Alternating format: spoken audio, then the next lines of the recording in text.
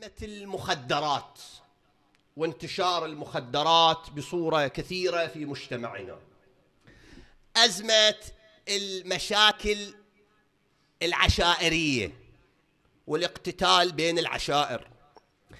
أزمة تسيب الشباب وعدم اهتمامهم بالعلم وطلب العلم العلم العام قصدي بصورة عامة. أزمة الرشاوى والفساد المالي أزمة عدم احترام أهل العلم من المدرسين والأساتذة وكذا أزمة الجشع في الطب وغيره. كل هاي المشاكل الاجتماعية اللي موجودة الآن حلها شيء واحد. شنو هو؟ إشاعة ثقافة الأخلاق.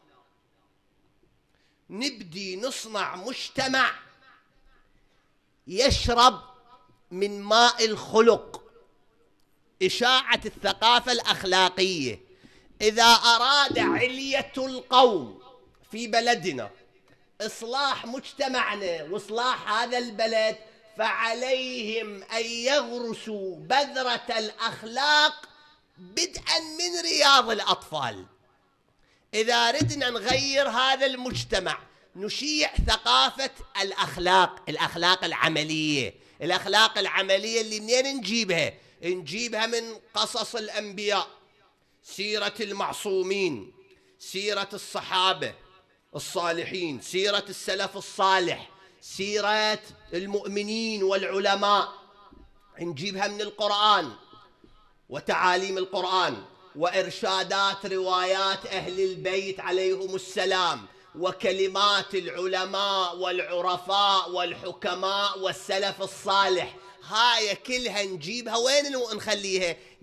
نبنيها بأرواح الأطفال. السا انت تتصور أنا صعب أثر على واحد عمره 30 40 سنة. هذا تأدلج. إذا أريد اثر عليه اثر بمقدار يجوز 20% أنت تريد تغير بلد أنت تريد تصلح الأمة تريد تعالج مشكلة المخدرات والرشاوى والفساد الاقتصادي والفساد السياسي والفساد المالي والمشاكل الاجتماعية. وهاي طلايب كلها ابدأ من الصفر. شلون تبدأ من الصفر؟ تبدأ من الأطفال. تخلي مناهج دراسية أخلاقية من رياض الأطفال إلى الابتدائية. أول ابتدائي للسادس ابتدائي. كل مرحلة بيها كتاب أخلاقي بقيم ومبادئ ومثل وأهداف وأشياء أخلاقية. تاخذها منين؟ تاخذها من القرآن من روايات أهل البيت من سيرة أهل أهل العلم والعلماء. دخلها بالابتدائية.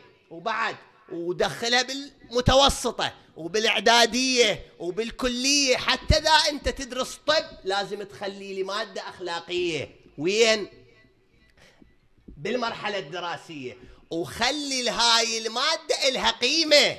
لا تخليها مثل قبل عندنا إذا تتذكرون بالابتدائية يسموها الأخلاقية، ما حد يقلبها، لا الأخلاقية ولا الفنية ولا الرياضة، ما حد يقلبها، لا لا مو هيك خلي لها قيمة مثل الفيزياء مثل الكيمياء مثل اللغة الإنجليزية.